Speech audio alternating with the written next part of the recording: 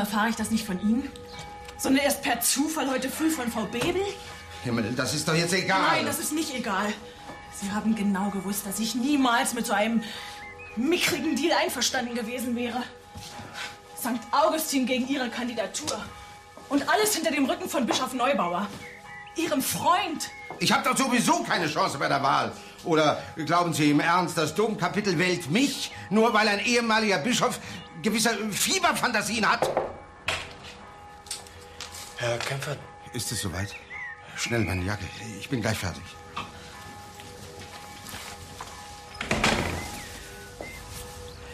Lieber, ich kann nicht anders. Weiß er es? Er ist mein Freund, richtig. Und deshalb werde ich ihm doch nicht noch auf dem Sterbebett die traurige Wahrheit beibringen, dass bei uns nur gilt, was Rom will. Und Rom will, dass Professor Grönling Neubauers Nachfolger wird. Und bevor ich alles verliere, meine Gemeinde und die Wahl, da behalte ich doch lieber St. Augustin, oder ist das ein Verbrechen?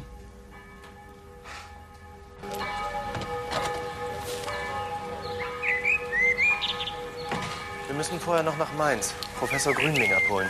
Was? Wieso? Fragen Sie den Chef, falls Sie noch eine Antwort kriegen. Ich verstehe das nicht. Gestern waren doch noch ganz gut beieinander. Er will eben nicht in die Klinik. Der Professor hat getobt und gebrüllt, aber nein, er verkrallt sich in sein Bett wie eine Katze ins Sofa. Er tut mir so leid. Tja, Sterben ist genauso schwer wie Leben.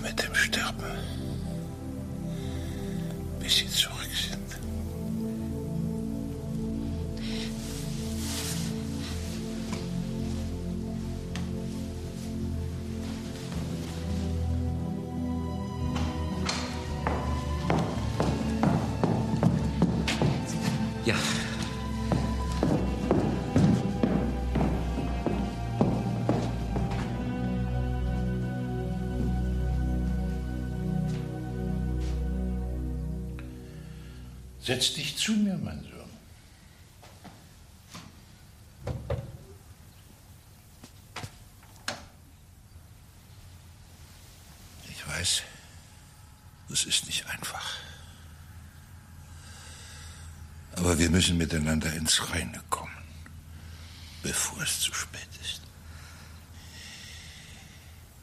Ich habe Sie von meinem Vorgänger übernommen, das Amt und die Möbel. Und ich habe gleich gespürt, dass Sie mich nicht leiden können. Das stimmt nicht. Nicht lügen. Ich habe Sie ja auch nicht leiden können. Und doch habe ich mir damals gedacht, wenn der Herr mir einen wie Sie zur Seite stellt, dann muss er einen Grund dafür haben. Bis heute habe ich diesen Grund nicht entdecken können. Aber heute wird sich herausstellen, ob wir beide uns das Leben und die gemeinsame Arbeit umsonst so schwer gemacht haben. Oder ob dahinter doch ein Sinn steckt.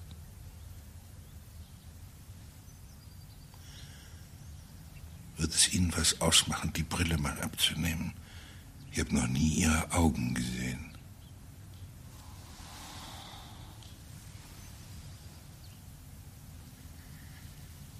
Dachte ich's mir da. Was? Freundlich, gütig, bisschen ängstlich vielleicht, aber ohne Arg. Ohne arg zu sein, zählt nicht zu meinen wichtigsten Aufgaben im Ordinariat. Lassen Sie nur. Was ich Ihnen zum Abschied sagen will, ist schnell gesagt. Und dann können Sie sich wieder hinter Ihre Gläser verstecken. Ich habe Felix vorhin fortgeschickt. Gleich werden Herr Kempfert und Ihr Favorit Professor Grünling hier an meinem Bett stehen. Was? Jetzt? Exzellenz? Jetzt. Und Sie werden sich da hinten hinstellen und genau zuhören. Aber ich. Das ist. Es ist das letzte Mal, dass ich etwas von Ihnen verlange. Ich will Sie damit nicht ärgern. Ich weiß, Sie hätten gern, dass Ihr nächster Chef Grünling heißt. Er passt zu Ihnen. Vor zehn Jahren oder so, da hätte er auch in die kirchliche Landschaft gepasst, genauso wie ich damals. Aber heute, es gibt bald keine Landschaft mehr, Silenius. Die wirklichen Christen sterben schneller aus als die Bäume. Bald wird um uns herum nur Wüste sein. Und da braucht es Männer, die von wildem Honig und Heuschrecken leben können. So wie die Propheten im alten Israel und wie Jesus. Verstehen Sie, was ich meine? Nicht lügen. Wilder Honig und Heuschrecken sind nicht jedermanns Sache. Und jetzt holen Sie bitte ganz schnell Schwester Felicitas. Schwester! Schwester!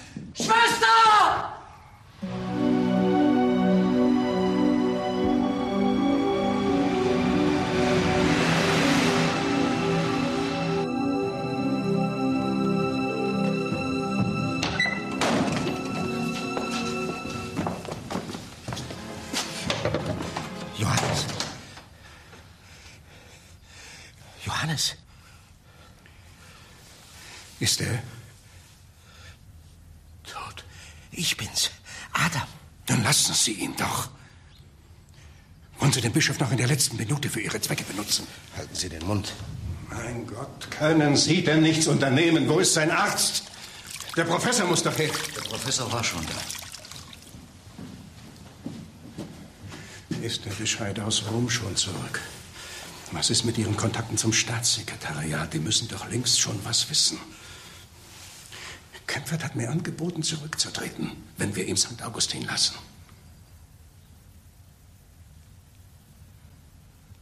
Ich muss wissen, ob Neubauer das weiß. Adam. Ja.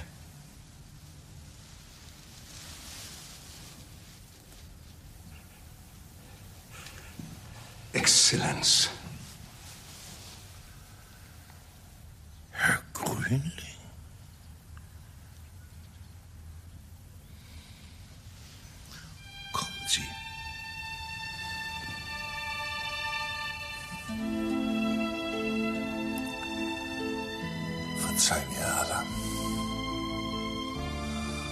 Mögen auch Sie mir verzeihen, dass ich Sie beide hier an meinem Sterbebett miteinander konfrontiere.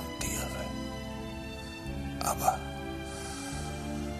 so wie die Dinge gelaufen sind, bleibt mir keine andere Wahl.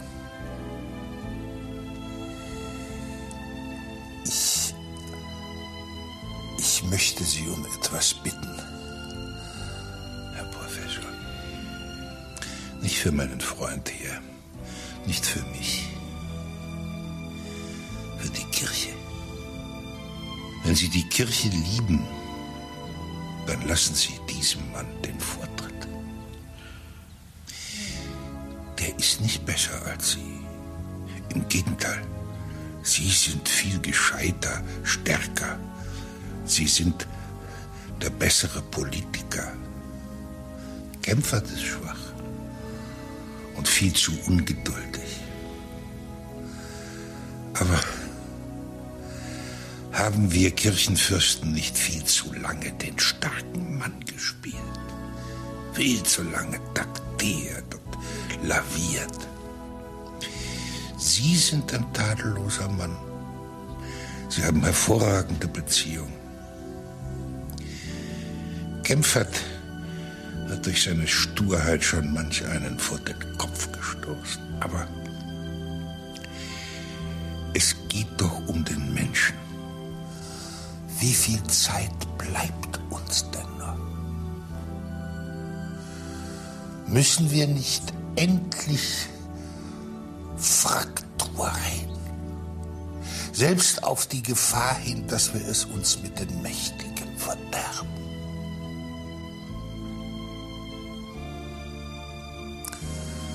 Wenn ich Sie beide so ansehe, dann machen Sie natürlich die bessere Figur. Sie sehen so aus, wie man sich einen Bischof vorstellt. Kämpfer sieht aus wie ein Dorfpfarrer. Er schwitzt. Weil er ständig unterwegs ist zu den mühseligen und beladenen. Denn er will sie erquicken. Sie werden die Menschen immer respektieren. Ihn werden sie lieben. Ja. Lieben. Weil sie spüren, dass er sie auch liebt. Wollen Sie es Ihrem Freund nicht sagen? Oder muss ich? Herr Professor. In Anbetracht Ihres Leidens und dieser Stunde hätte ich es Ihnen gerne erspart. Aber Ihr Freund hier hat sich schon längst gegen seine Kandidatur entschieden.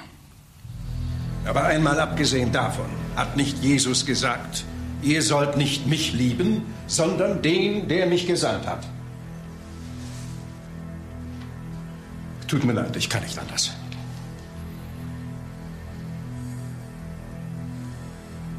Gehen Sie.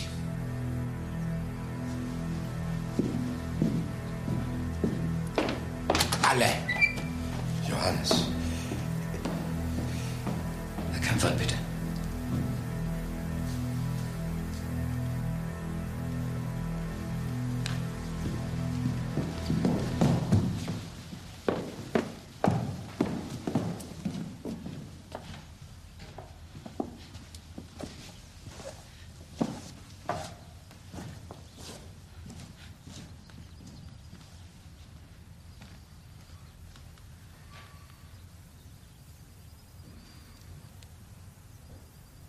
Ich frage ja nur, ob das nötig war. Soll ich mir das sagen lassen? Liebe. Darum geht es da wohl nicht. Aber vielleicht doch um etwas mehr Mitgefühl Sagen mit dem Sie Mann. das, Pfarrer Kempfert. Darf ich vielleicht auch erfahren, was geschehen ist? Bischof Neubauer wollte allein sein. Was jetzt? Wollen Sie ihn allein sterben lassen?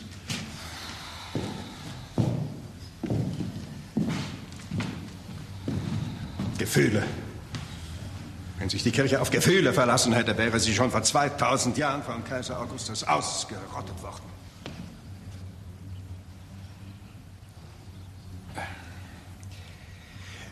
Mit der Kämpfer, was geschieht hier eigentlich? Schwester Felicitas ist bei ihm. Ja, und Sie? Ich dachte, Sie und Neubauer. Sie stehen doch auch auf der Liste aus Rom, stimmt's? Grünling, Hennig, Kempfert. Sie sind die Nummer zwei. Warum kämpfen Sie nicht? Wenn Sie nur halb so viel Ehrgeiz entwickeln würden wie Professor Grünling, dann hätten Sie das Domkapitel längst auf Ihrer Seite. Und Sie wären fein aus allem raus, nicht wahr? Nein.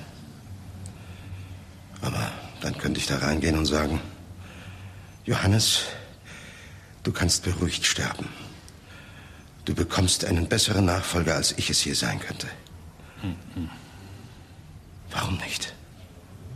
Warum? Ich habe Angst, Herr Kempfert. So einfach ist es.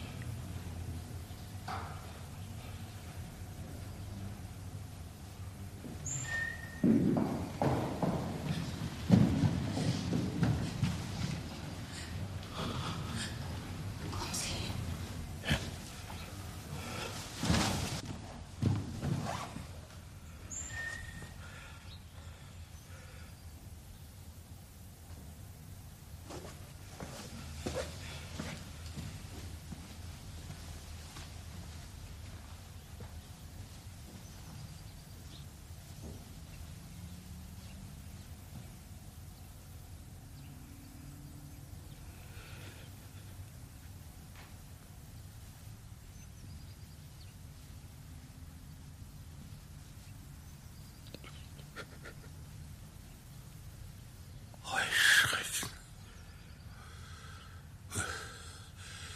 Wilder Honig. Was hast du gesagt? Wilder Honig.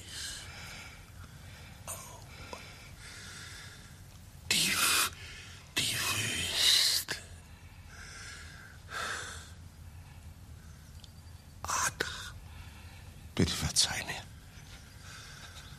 du musst dir selbst verzeihen. Schnell. Ich habe keine Zeit mehr. Hilf mir. Ich, ich will im Stehen sterben. Wie der heilige Benedikt.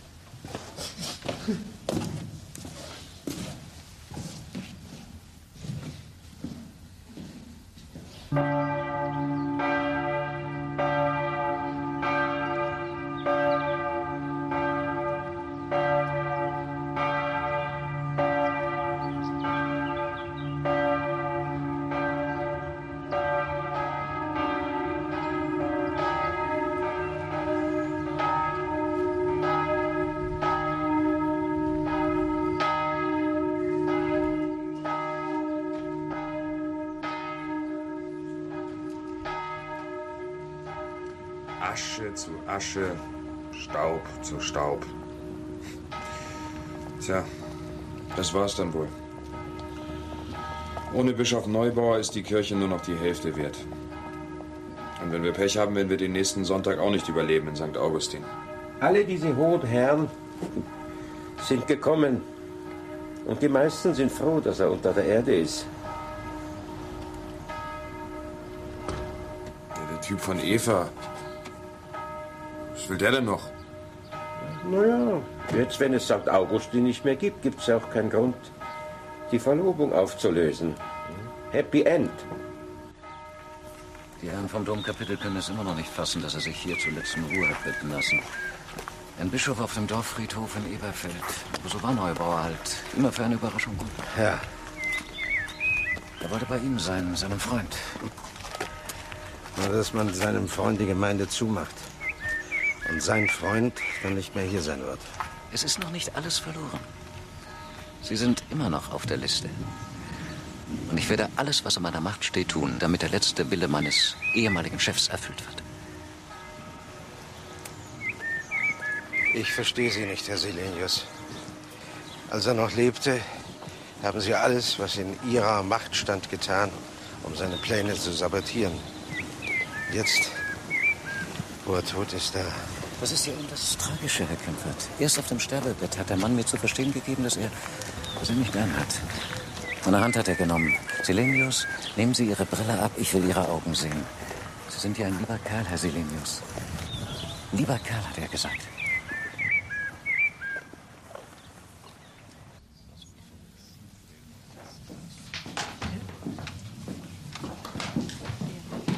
Wenn St. Augustin geschlossen wird, dann trete ich aus der Kirche aus. Basta.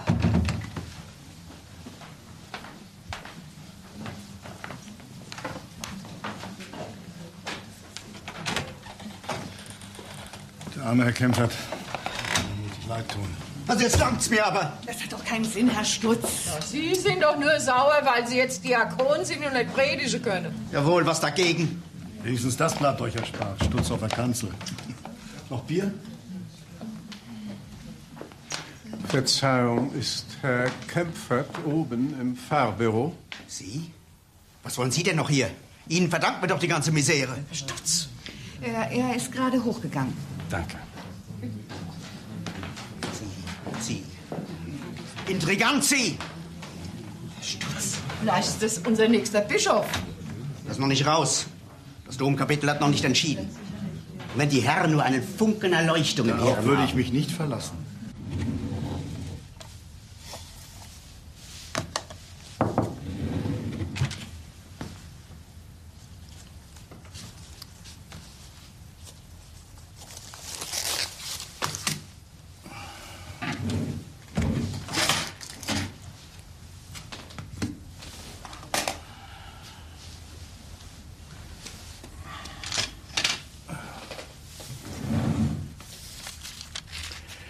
Ich dachte, das wäre eine gute Gelegenheit, unsere Feindschaft mit zu beerdigen.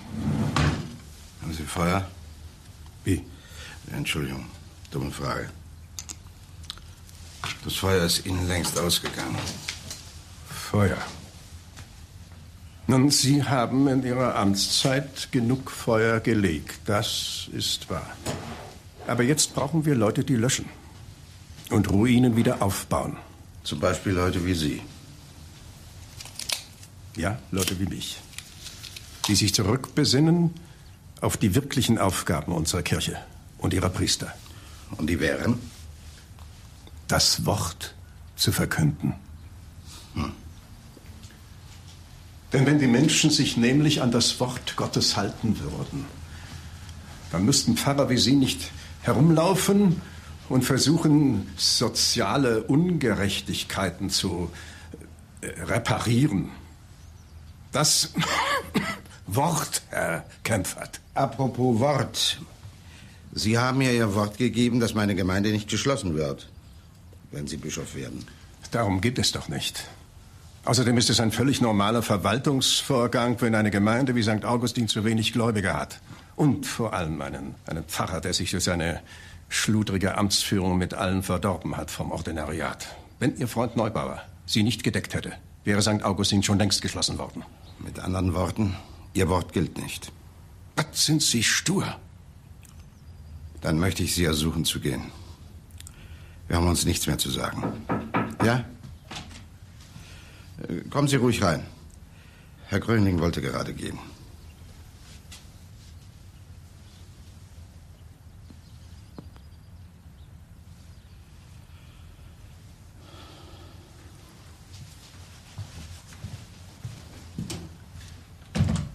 Also, Herr Kempfert, ich... Nicht vergessen zu gießen. Ich habe mir das jetzt lange genug mit angesehen. Aber irgendwann ist Schluss. Ja, Ihr Freund Bischof ist unter Verehrung. Wir pfeifen hier alle aus dem letzten Loch. Aber dass Sie jetzt einfach alles hängen lassen? Ja, was soll dann ich erst sagen? Zwei Jahre lang büffel ich Theologie-Fernkurse. Hocke nächtelang bis elf, zwölf im Diakonatskreis. Quäle mich durch Exerzitien, Prüfungen und peinliche Verhöre und schaffe es, dank Ihrer und dank der geballten Unterstützung von oben tatsächlich, dass ich im Dom vor dem Weihbischof knie und zum Diakon geweiht werde. Und bevor ich noch meine erste Predigt loswerden kann, sägt man mir die Kanzel unter den Füßen weg. Wollen Sie am Sonntag predigen? Nein. Ja. Was? Nach allem, was Sie durchgemacht haben. Da wäre das doch nur fair. Ja, aber das ist doch der letzte Gottesdienst. Eben. Ja, da werden aber doch alle da sein, um zu hören, was Sie zu sagen haben. Eben. Aber Ich habe nichts zu sagen, Herr Stütz. Und das, was ich zu sagen habe, das kann ich nicht sagen. Das darf ich nicht sagen. Oder wollen Sie mich vor versammelter Mannschaft heulen sehen? Ja, aber ich weiß nicht. Naja, ich kann ja auch Frau Mönckeberg fragen. Wie? Nein, nein, nein, nein. Wenn Sie meinen, ich kann das und wenn ich Ihnen damit einen Gefallen tun kann. Sehr gut. Und jetzt lassen Sie mich bitte alleine, Stutz. Ja, Moment! Ja, was soll ich denn sagen?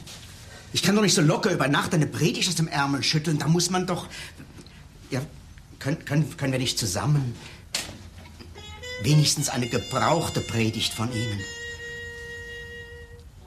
Mit diesem Hoffnungsschimmer am Horizont, geblasen von Miles Davis, ist unser Programm beendet. Ich kann Sie ja ein bisschen Für immer. umfummeln, damit's keiner merkt. Wir haben protestiert, wir haben demonstriert und schließlich resigniert vor der Allmacht der Bürokratie, die wie immer das letzte Wort zu haben scheint.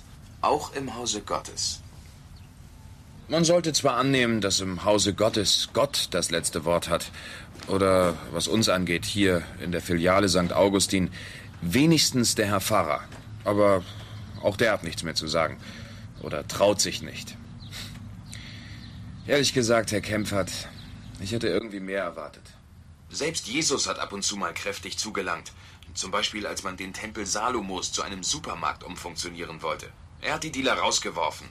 Jesus, Dealer, also jetzt reicht's doch. Und ist Genau. der Tempel Salomos, Halten Sie mal. sprich die heilige Kirche, heute nicht auch auf dem besten Weg, ein Selbstbedienungsladen zu werden? Wo jeder sich herausnimmt, was ihm in den Kram passt? Der eine einen schlauen Job, der andere eine tolle Karriere.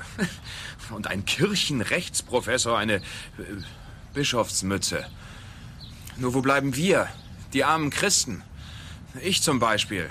Und Sie. Falls Ihnen etwas dazu einfallen sollte, dann rufen Sie mich an. Und Sie lassen die Finger von meinen Sachen, ja? Wenn Sie Ihre Finger von Eva lassen. Mann, oh Mann. Ihre Nerven möchte ich haben. Wo ist Eva? Bei mir nicht. Leider. Sie fühlen sich wohl sehr stark, wie? Wenn einer so blöde ist, eine Frau wie Eva sausen zu lassen, nur weil sie katholisch ist und ihren Beruf liebt, dann. Ja, dann fühle ich mich sehr stark. Weißt du, was dein Problem ist? Du glaubst, du bist automatisch im Recht, nur weil du eine schwarze Hautfarbe hast. Herr Kempfert! Nicht jetzt, Herr Hehlein. Sie, wo Eva ist? Weiß ich nicht. Ja, da oben ist Mord und Totschlag. Jo, Othello, Sie müssen dazwischen gehen. Äh, Tut mir leid, aber ich muss schon woanders dazwischen gehen. Nach Limburg. Ja, aber es ist doch alles entschieden, denke ich. Das Domkapitel tagt noch. Ja, aber Sie machen sich doch lächerlich. Tut mir leid, aber das nehme ich auf mich. Abfahrt.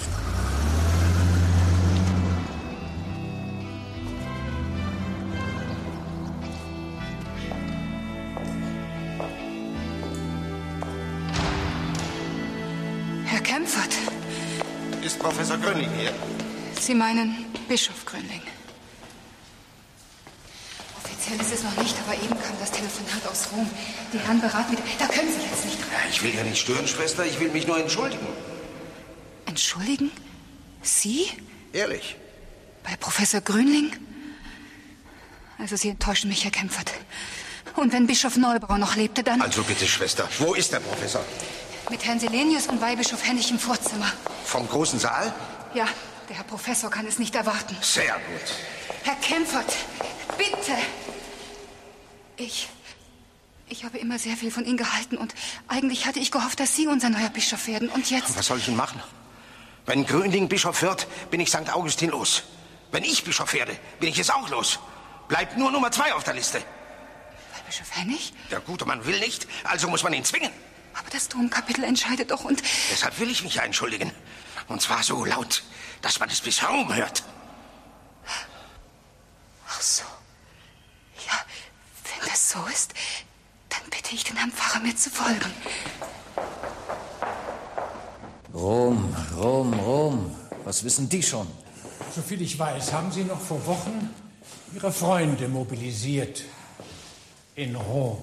Damals war die Situation auch noch völlig anders. Wie soll ich das verstehen? Da war ich noch ein genauso obrigkeitsfürchtiger Katholik wie Sie. Was sind Sie jetzt? Ein Christ. Schlicht und einfach ein Christ. Wo ist jetzt der Unterschied? Entschuldigen Sie, meine Herren, aber bevor ich meine Koffer packe und aus Ihrem Blickfeld verschwinde, habe ich noch etwas zu sagen. Keine Angst. Ich, äh, ich möchte Ihnen nur gratulieren und mich entschuldigen. Ja, entschuldigen. Und zwar für meine eigene Dummheit. Oder gar einem gewissen Pfarrer von St. Augustin. Der fällt dem Heiligen Vater damit in den Rücken. Seien Sie doch mal still. Das in einer Zeit, in der unsere Kirche in der ja, größten ja, wir kennen Krise... Ihre Meinung ja auswendig. In der Nachfolge des Menschensohnes zu leben. Wie er. Und ein Bruder zu sein für unsere Mitmenschen. Aber ich habe mich geirrt. Wir sind nur Beamte und Geldeintreiber für die gute Sache. Was auch immer das sein mag. Aber mein schlimmster Fehler war, dass ich geglaubt habe, unsere Kirche sei kein exklusiver Verein für rechtgläubige, auserwählte, selbstgerechte Katholiken, sondern eine Heimat für alle, die nach einem Sinn suchen in diesem allgemeinen Unsinn. Ich habe mich getäuscht und es geschieht mir ganz recht, wenn man mir meine Gemeinde wegnimmt. Aber uns allen geschieht es recht, wenn man uns jetzt auch noch verweigert, in der eigenen Diözese den Nachfolger zu bestimmen, weil wir immer noch so naiv sind zu glauben, dass alles, was aus dem heiligen Rom kommt, nur das Beste sein kann und darf.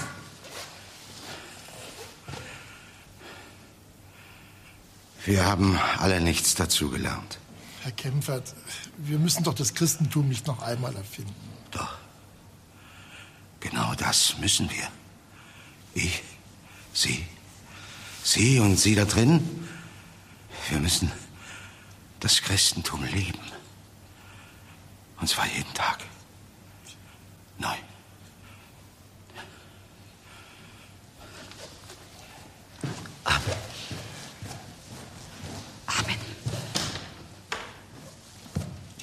Das ist eine kirchenrechtlich unerhörte Beeinflussung einer Bischofswahl, gegen die ich entschieden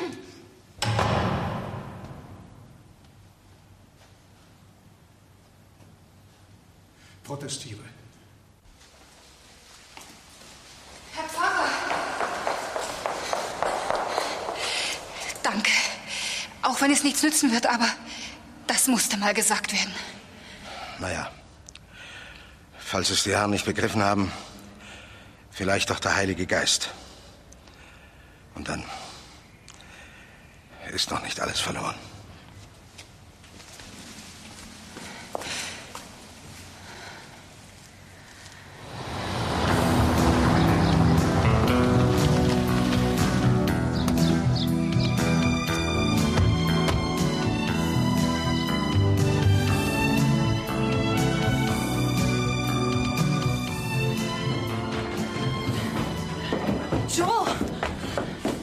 Ein schönes Gefühl für eine Frau sein, wenn sich die Männer um sie prügeln. Äh, Was hast du ihm gesagt?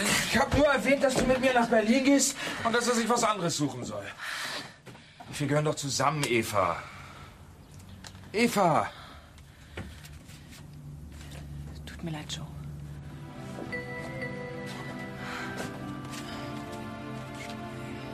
Ich liebe dich nicht. Ja, und was war das dann? Ich war allein, du warst allein.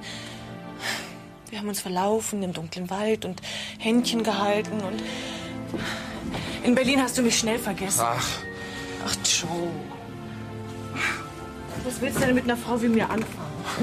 Ich kann doch nicht mal Genesis von Pink Floyd unterscheiden. Ich auch nicht. Sie halten sich da raus. Und du hast doch keine Lust, mit mir abends im Bett die unbefleckte Empfängnis oder die Apostelgeschichte zu diskutieren. Hm? Vorher nicht. Na, hinterher, na ja. Habe ich mir eben halt wieder eine blutige Nase geholt. Ja, ist ja nicht das erste Mal. Und wie ich euch Frauen kenne, bestimmt auch nicht das letzte Mal.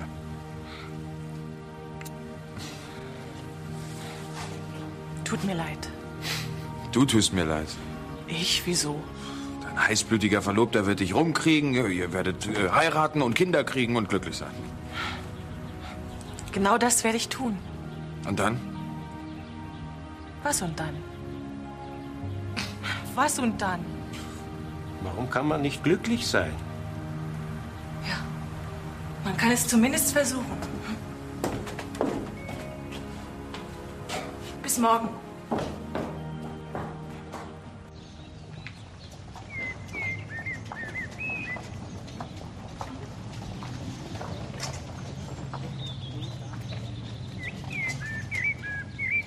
Ist das nicht tragisch?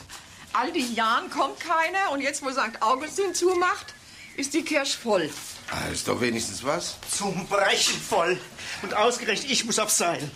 Herr Kempfert, wollen Sie nicht doch lieber? Ich, ich krieg von Lampenfieber bestimmt kein Wort raus, geschweige denn diese Predigt von Ihnen. Sie schaffen das schon. Na los, ziehen Sie sich was über. Was, der Stutz? Predigt? Mein Neffe. Einmal, Frau Bebel. Das werden Sie doch ertragen können. Mit etwas christlicher Nächstenliebe und Geduld. Hier, das letzte Wort. Die haben Sie vor Leichnam vor zwei Jahren gehalten. Das letzte Wort? Hm. Passt doch gut. Na, ich muss das natürlich etwas modifizieren. So, so kann man das ja nicht sagen. Hm. Jeder Mensch hat vom Schöpfer die Aufgabe mitbekommen, seine eigene Welt zu schaffen, in seinen eigenen vier Wänden, in seinem eigenen Kopf und eigenem Herzen. Das soll ich gesagt haben? Ja, hier steht jetzt schwarz auf weiß. Seine eigene Welt. Ja, wo kämen wir denn dahin? Na ja, dann wollen wir mal. In Gottes Namen.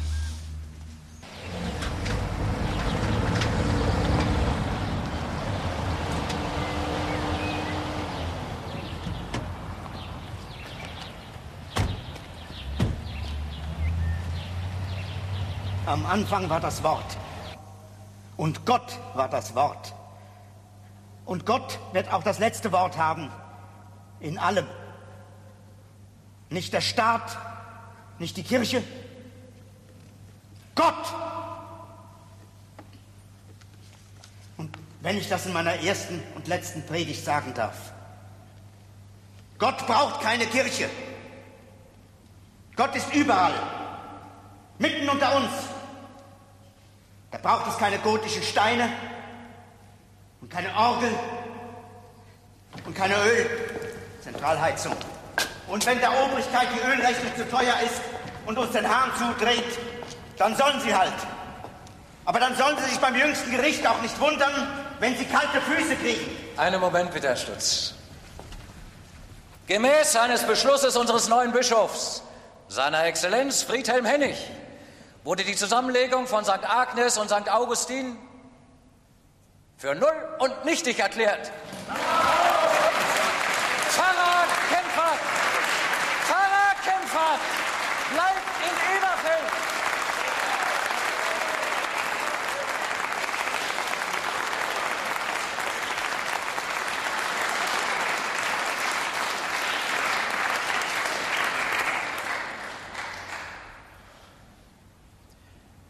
Ich hatte heute Nacht einen Traum voller Zweifel und Verzweiflung. Aber als ich heute früh aufwachte, da wusste ich wieder, dass ich auf dem rechten Weg bin. Nicht auf dem Weg, den unsere Bürokraten asphaltieren. Auch nicht auf dem Weg, den uns die Gesellschaft aufzwingen will. Nein, auf meinem Weg. Ich weiß zwar nicht, wohin er führt, aber eines weiß ich. Auf diesem Weg werde ich alle die treffen, die, ja, die guten Willens sind. Ganz gleich, welcher Religion sie angehören. Oder auch gar keiner. Denn der Schöpfer, an den wir glauben, ist weder Mohammedaner noch Jude, noch evangelisch, noch katholisch. Er ist schlicht und einfach Gott. Und äh, was Gott ist, hat er selber gesagt. Er ist die Liebe. Ja, die Liebe. Und sie, die Liebe, sollte immer das letzte Wort haben.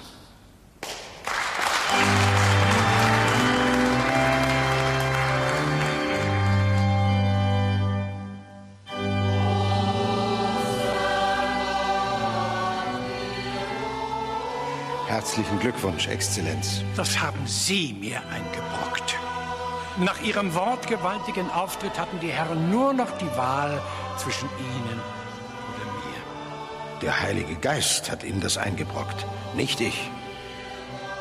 Dann hoffe ich, dass er mir auch dabei hilft, das schwere Amt zu tragen. Naja, im Notfall haben Sie ja immer noch mich.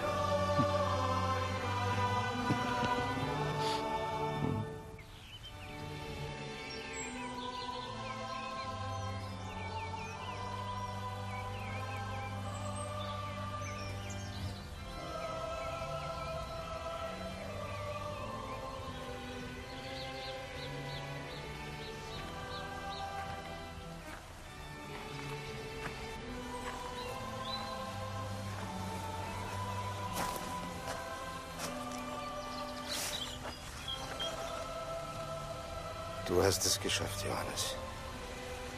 Zwar nicht so, wie du und ich uns das vorgestellt haben, aber vielleicht ist es ein Anfang. Der wilde Honig, das hast du doch gemeint, oder? Den Mut haben, alles hinter sich zu lassen. Alles Gewohnte und Vertraute. Die schlauen Gedanken und die dummen. Die Sicherheit und die Angst. Wir sind wie eine Wüste. Bereit für den ersten Regen und das neue Grün. Die Leute wollen nicht ohne Sie mit der Party anfangen in der Eberburg. Ich wollte nur noch vorher. Ich weiß. Wenn Sie wollen, gehen wir zusammen. Ich liebe wilden Honig.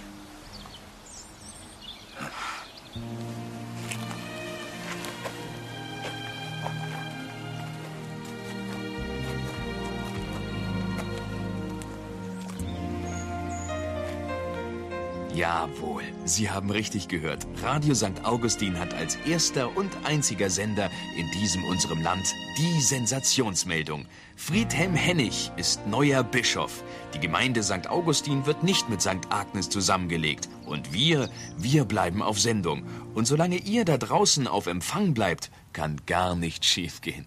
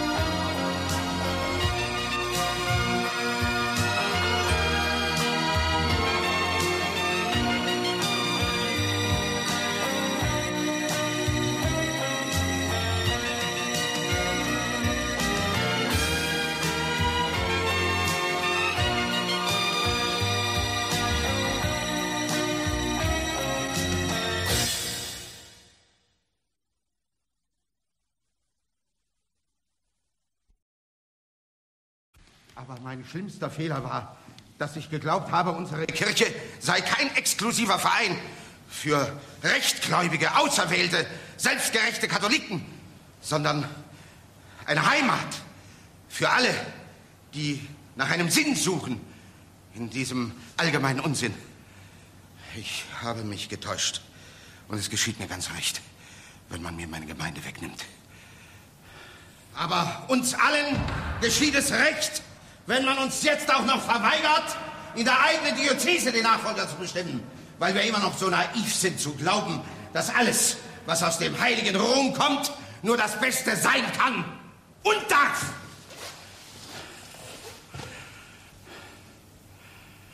Wir haben alle nichts dazugelernt.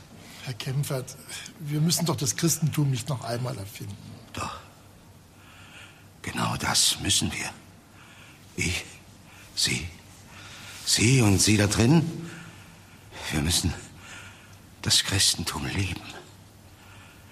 Und zwar jeden Tag. Neu.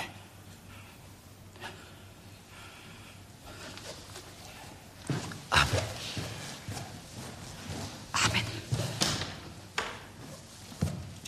Das ist eine kirchenrechtlich unerhörte Beeinflussung einer Bischofswahl, gegen die ich entschieden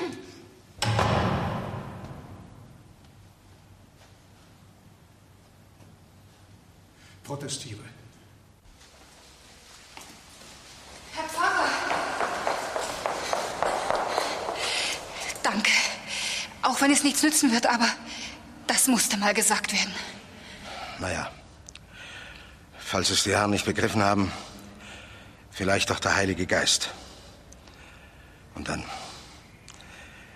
ist noch nicht alles verloren.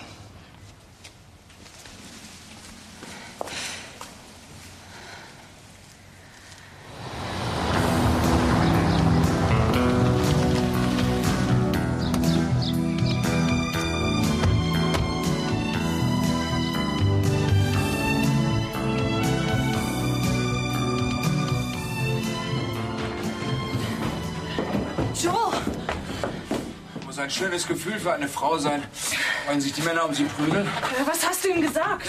Ich habe nur erwähnt, dass du mit mir nach Berlin gehst und dass er sich was anderes suchen soll. Wir gehören doch zusammen, Eva.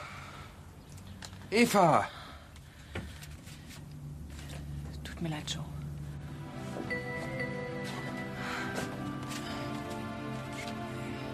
Ich liebe dich nicht.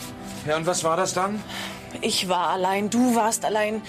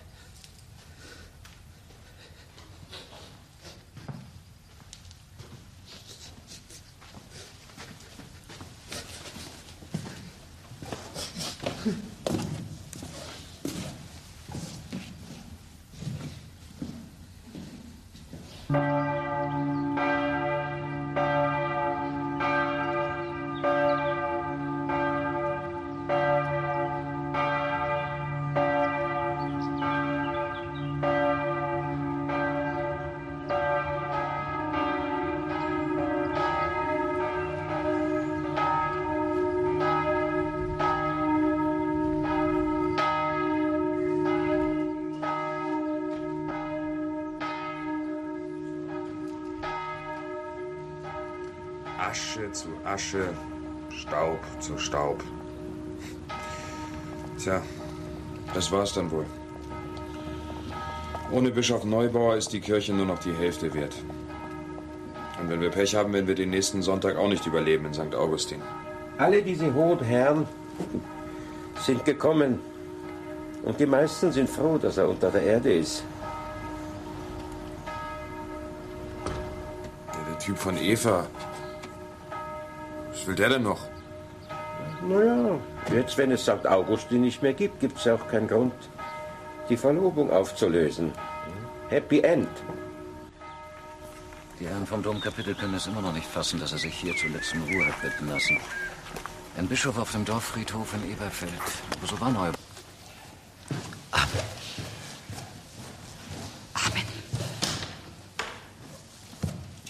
Das ist eine kirchenrechtlich unerhörte Beeinflussung einer Bischofswahl, gegen die ich entschieden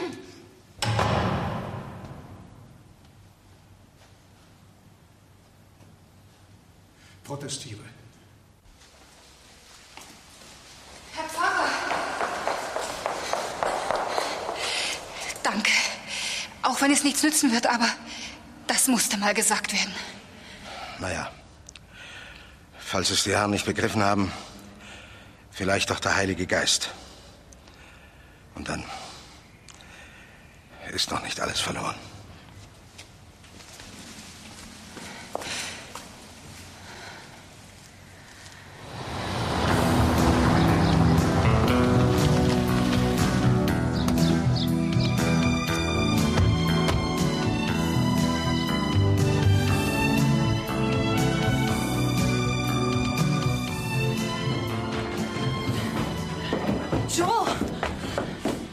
Schönes Gefühl für eine Frau sein, wenn sich die Männer um sie prügeln. Äh, Was hast du ihm gesagt? Ich habe nur erwähnt, dass du mit mir nach Berlin gehst und dass er sich was anderes suchen soll. Wir gehören doch zusammen, Eva. Eva!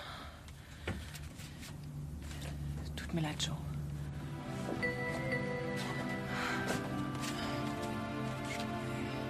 Ich liebe dich nicht. Ja, und was war das dann? Ich war allein, du warst allein. Wir haben uns verlaufen im dunklen Wald und Händchen gehalten und. In Berlin hast du mich schnell vergessen. Ach, Ach, Joe. Was willst du denn mit einer Frau wie mir anfangen?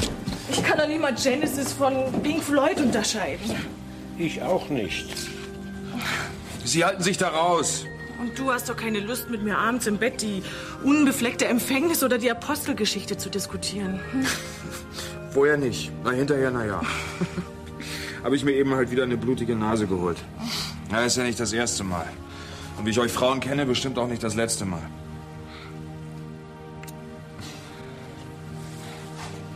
Tut mir leid. Du tust mir leid. Ich? Wieso? Dein heißblütiger Verlobter wird dich rumkriegen, ihr werdet äh, heiraten und Kinder kriegen und glücklich sein. Genau das werde ich tun. Und dann? Was und dann? Was und dann? Warum kann man nicht glücklich sein? Man kann es zumindest versuchen. Bis morgen.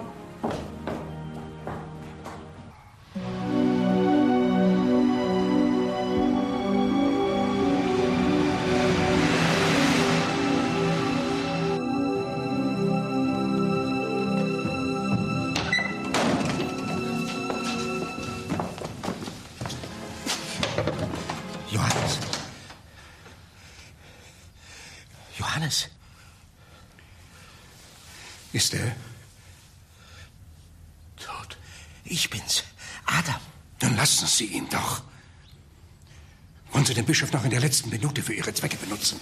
Halten Sie den Mund. Mein Gott, können Sie denn nichts unternehmen? Wo ist sein Arzt? Der Professor muss doch her. Der Professor war schon da. Ist der Bescheid aus Rom schon zurück? Was ist mit Ihren Kontakten zum Staatssekretariat? Die müssen doch längst schon was wissen. Kempfert hat mir angeboten, zurückzutreten, wenn wir ihm St. Augustin lassen.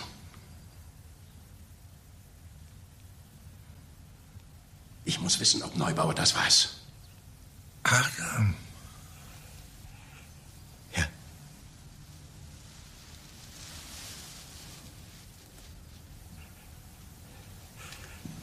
Exzellenz. Herr Grünling.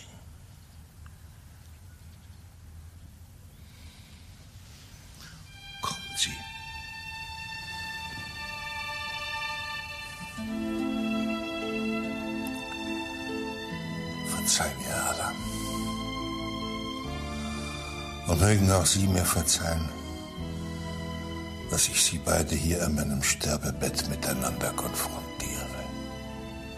Aber so wie die Dinge gelaufen sind, bleibt mir keine andere Wahl. Ich. Ich möchte Sie um etwas bitten, für meinen Freund hier, nicht für mich, für die Kirche. Wenn Sie die Kirche lieben, dann lassen Sie diesem Mann den Vortritt. Der ist nicht besser als Sie. Im Gegenteil, Sie sind viel gescheiter, stärker.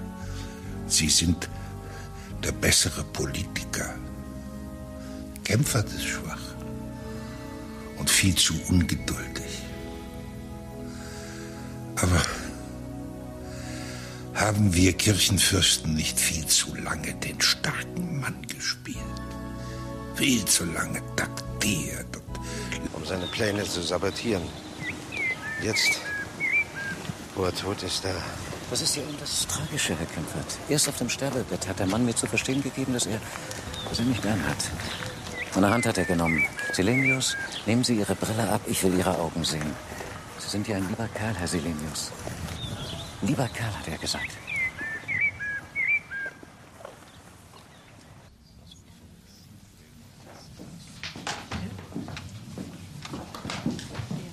Also wenn St. Augustin geschlossen wird, dann trete ich aus der Kirche aus. Basta.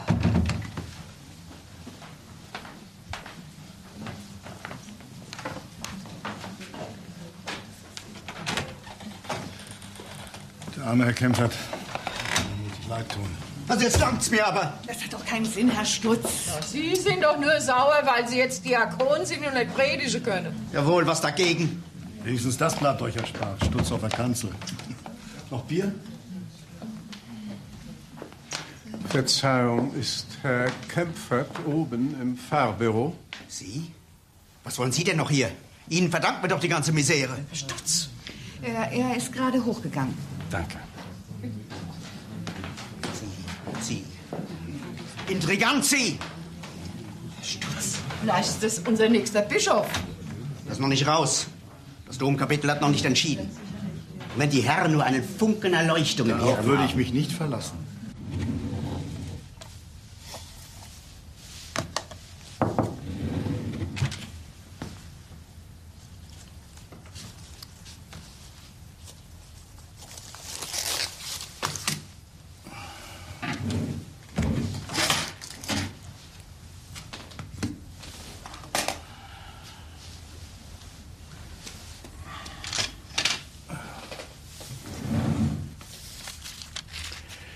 Ich dachte, das wäre eine gute Gelegenheit, unsere Feindschaft mit zu beerdigen. Haben Sie Feuer? Wie? Entschuldigung, dumme Frage. Das Feuer ist Ihnen längst ausgegangen. Feuer.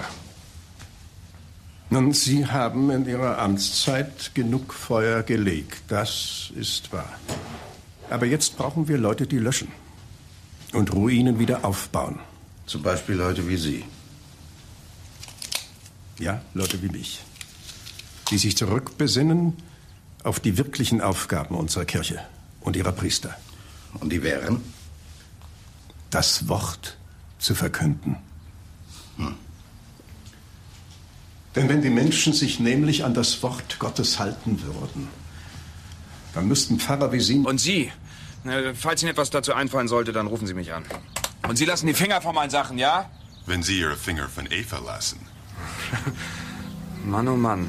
Ihre Nerven möchte ich haben. Wo ist Eva? Bei mir nicht. Leider. Sie fühlen sich wohl sehr stark, wie? Wenn einer so blöde ist, eine Frau wie Eva sausen zu lassen, nur weil sie katholisch ist und ihren Beruf liebt, dann. Ja, dann fühle ich mich sehr stark. Weißt du, was dein Problem ist? Du glaubst, du bist automatisch im Recht, nur weil du eine schwarze Hautfarbe hast. Herr Kempfert!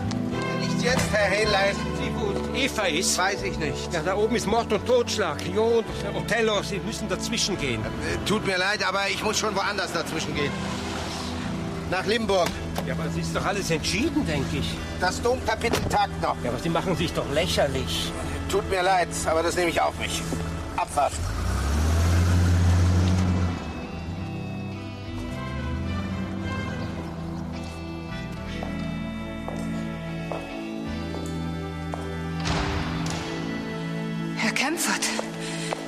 Professor Gröning hier? Sie meinen Bischof Grünling. Offiziell ist es noch nicht, aber eben kam das Telefonat aus Rom. Die Herren beraten wieder. Da können Sie jetzt nicht. Ja, ich will ja nicht stören, Schwester. Ich will mich nur entschuldigen. Entschuldigen? Sie? Ehrlich. Bei Professor Grünling? Also Sie enttäuschen mich, Herr Kempfert. Und wenn Bischof Neubauer noch lebte, dann Also bitte, Schwester. Wo ist der Professor? mit Herrn Selenius und Weihbischof Hennig im Vorzimmer. Vom großen Saal? Ja, der Herr Professor kann es nicht erwarten. Sehr gut. Herr Kempfert, bitte! Ich. Ich habe immer sehr viel von Ihnen gehalten und eigentlich hatte ich gehofft, dass Sie unser neuer Bischof werden. Und jetzt. Was soll ich denn machen? Wenn Gröning Bischof wird, bin ich St. Augustin los. Wenn ich Bischof werde, bin ich es auch los. Bleibt nur Nummer zwei auf der Liste. Weihbischof Hennig? Der gute Mann will nicht, also muss man ihn zwingen. Aber das Domkapitel entscheidet doch und. Deshalb will ich mich ja entschuldigen. Und zwar so laut, dass man es bis Rom hört. Ach so. Ja, wenn das so ist, dann bitte ich den Herrn Pfarrer, mir zu folgen. Rom, Rom, Rom. Was wissen die schon? Soviel ich weiß, haben Sie noch vor Wochen Ihre Freunde mobilisiert. In Rom. Damals war die Situation auch noch völlig anders. Wie soll ich das verstehen? Da war ich noch ein genauso obrigkeitsfürchtiger Katholik wie Sie. Was sind Sie jetzt? Ein Christ. Schlicht und einfach ein Christ. Wo ist jetzt der Unterschied? Krallt sich in sein Bett wie eine Katze ins Sofa. Er tut mir so leid. Tja, Sterben ist genauso schwer wie Leben.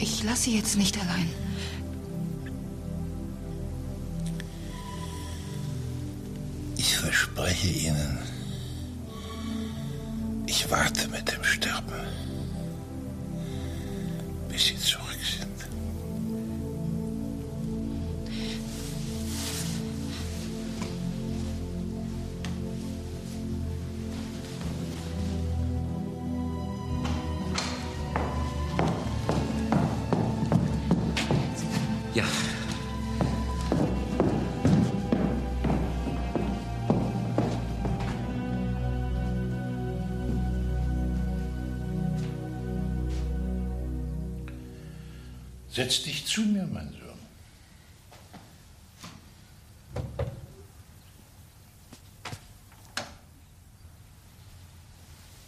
Ich weiß, das ist nicht einfach. Aber wir müssen miteinander ins Reine kommen, bevor es zu spät ist.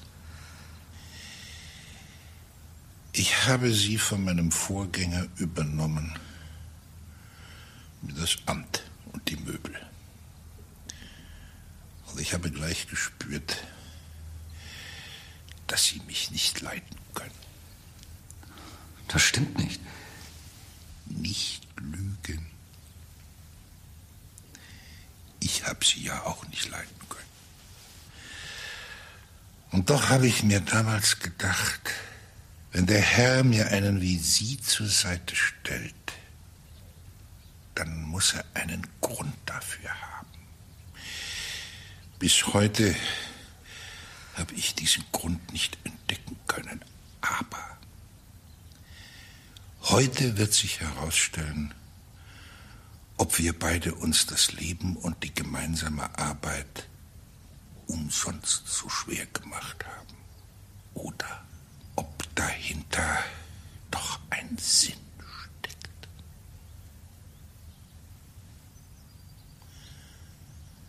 Wird es Ihnen was ausmachen, die Brille mal abzunehmen? Ich bisschen ängstlich vielleicht, aber ohne arg. Ohne arg zu sein, zählt nicht zu meinen wichtigsten Aufgaben im Ordinariat. Lassen Sie nur. Was ich Ihnen zum Abschied sagen will, ist schnell gesagt und dann können Sie sich wieder hinter Ihre Gläser verstecken. Ich habe Felix vorhin fortgeschickt.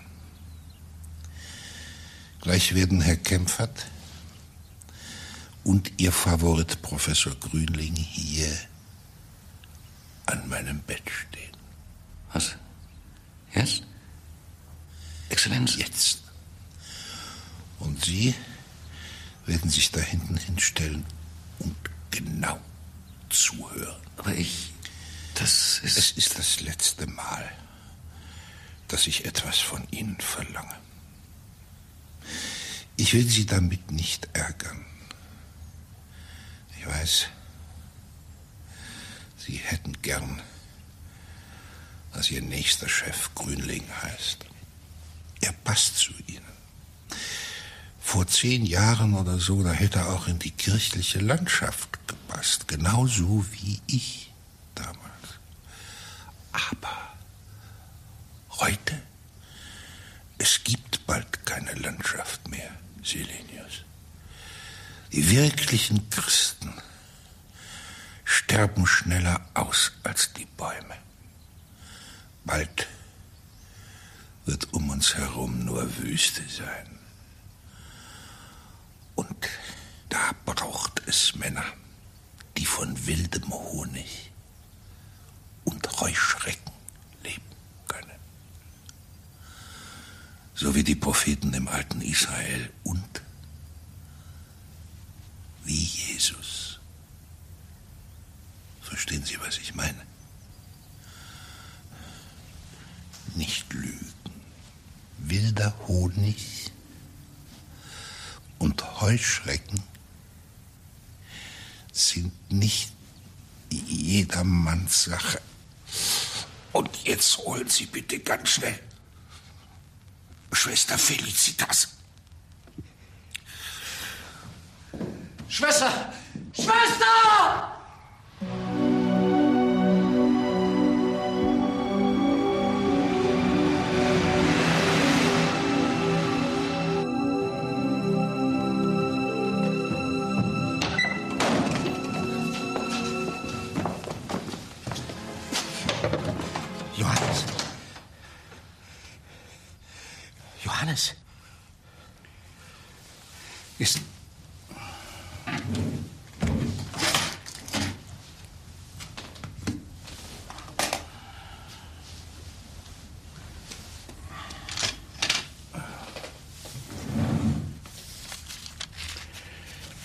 Dachte, das wäre eine gute Gelegenheit, unsere Feindschaft mit zu beerdigen. Haben Sie Feuer? Wie? Entschuldigung, dumme Frage. Das Feuer ist Ihnen längst ausgegangen. Feuer. Nun, Sie haben in Ihrer Amtszeit genug Feuer gelegt, das ist wahr. Aber jetzt brauchen wir Leute, die löschen und Ruinen wieder aufbauen. Zum Beispiel Leute wie Sie. Ja, Leute wie mich. Die sich zurückbesinnen auf die wirklichen Aufgaben unserer Kirche und ihrer Priester. Und die wären? Das Wort zu verkünden. Hm. Denn wenn die Menschen sich nämlich an das Wort Gottes halten würden, Dann müssten Pfarrer wie Sie nicht herumlaufen und versuchen, soziale Ungerechtigkeiten zu äh, reparieren. Das Wort, Herr Kempfert. Apropos Wort. Sie haben mir Ihr Wort gegeben, dass meine Gemeinde nicht geschlossen wird, wenn Sie Bischof werden. Darum geht es doch nicht. Außerdem ist es ein völlig normaler Verwaltungsvorgang, wenn eine Gemeinde wie St. Augustin zu wenig Gläubige hat. Und vor allem einen, einen Pfarrer, der sich durch seine schludrige Amtsführung mit allen verdorben hat vom Ordinariat. Wenn Ihr Freund Neubauer Sie nicht gedeckt hätte, wäre St. Augustin schon längst geschlossen worden. Mit anderen Worten, Ihr Wort gilt nicht. Was sind Sie stur? Dann möchte ich Sie ersuchen zu gehen. Wir haben uns nichts mehr zu sagen. Ja? Äh, Kommen Sie ruhig rein. Herr Gröning wollte gerade gehen.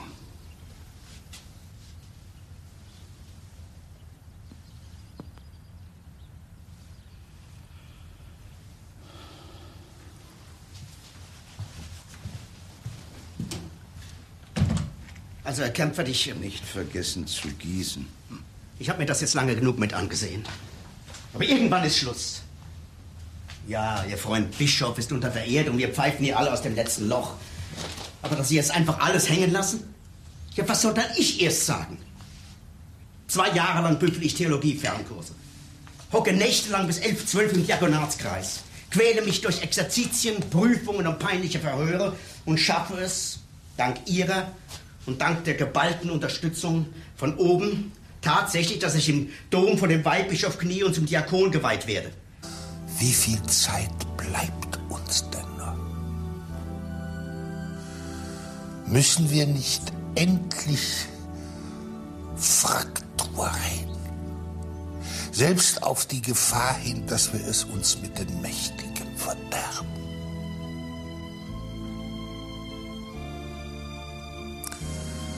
Wenn ich Sie beide so ansehe, dann machen Sie natürlich die bessere Figur. Sie sehen so aus, wie man sich einen Bischof vorstellt. Kempfert sieht aus wie ein Dorfpfarrer. Er schwitzt, weil er ständig unterwegs ist zu den mühseligen und beladenen. Denn er will sie erquicken. Sie werden die Menschen immer respektieren. Ihn werden sie lieben. Ja. Lieben. Weil sie spüren, dass er sie auch liebt. Wollen Sie es Ihrem Freund nicht sagen? Oder muss ich? Herr Professor. In Anbetracht Ihres Leidens und dieser Stunde hätte ich es Ihnen gerne erspart. Aber Ihr Freund hier hat sich schon längst gegen seine Kandidatur entschieden. Aber einmal abgesehen davon hat nicht Jesus gesagt, ihr sollt nicht mich lieben, sondern den, der mich gesandt hat. Tut mir leid, ich kann nicht anders.